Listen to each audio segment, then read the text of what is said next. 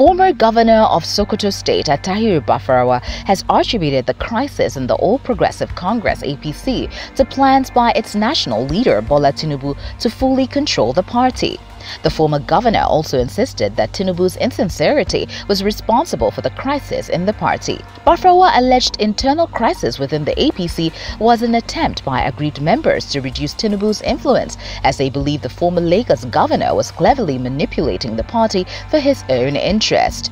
Bafarawa further claims that Tinubu's admission of former PDP state governors into the party with the improviser that the entire structure of the new party in their respective states should be handed over to the APC newcomers was backfiring. According to the Guardian newspaper, the ruling party is discreetly reaching out to some of its aggrieved foundation members to regain its progressive ideology. While some stakeholders have agreed to the move, others see it as a ploy to shut out prospective candidates for the 2023 polls. Following this, it is also believed that some party members from the Southwest Caucus of the APC had begun moves at regrouping in an alternative political platform to serve their interest. The recent perceived rift between President Muhammadu Buhari and his vice Yemi Osinbajo has opened a floodgate of speculations of a serious internal crisis threatening to divide the ruling APC. Roots.